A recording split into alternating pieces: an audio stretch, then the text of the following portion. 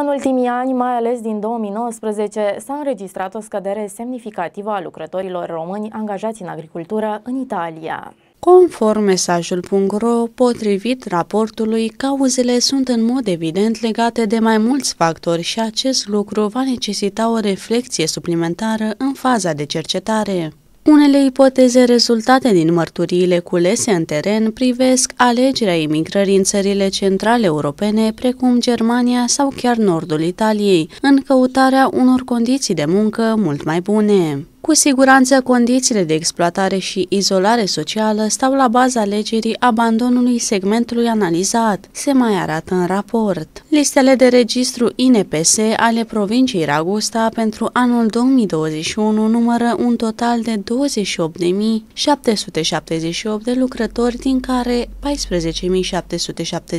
italieni și 14.006 străini. Analiza a fost realizată prin citirea datelor individuale ale municipalităților, apoi împărțite și însumate după naționalitate. Prima dintre cele 10 naționalități în raport cu forța de muncă este tunisiană 5307, urmată de română 2632 și albaneză 2558. Pe ultimele locuri sunt marocanii 448 și nigerienii 207. Raportul mai arată că mai este un fapt care pare interesant de luat în considerare și se referă la apariția de noi naționalități. Este vorba de prezența în regiune a lucrătorilor de naționalități din Africa subsahariană și Asia. Doi din trei lucrători sunt bărbați, iar componența feminină a muncitorilor angajați în agricultură pentru întreaga provincie Ragusta este de 31%.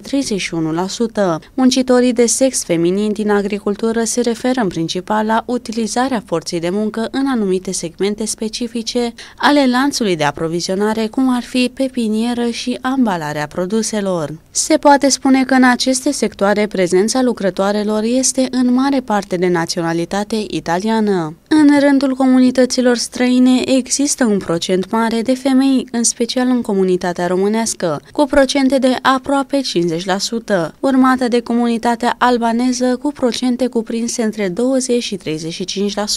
Sunt puține femei tunisiene care lucrează cu procente între 8 și 12%.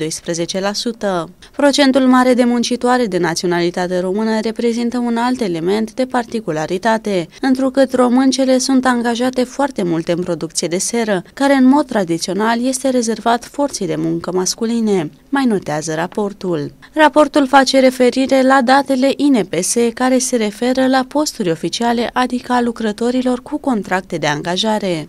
Vor fi investigate în continuare condițiile de muncă ale celor care muncesc la negru. La astfel de muncitori se va pune problema exploatării prin muncă, relatează mesajul.ro.